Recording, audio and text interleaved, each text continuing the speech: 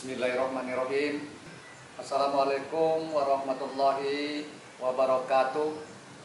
Saya Haji Risnawanto, Wakil Bupati Pasaman Barat, mengucapkan selamat ulang tahun Satuan Polisi Pamong Praja yang ke-74, Satuan Perlindungan Masyarakat ke-62.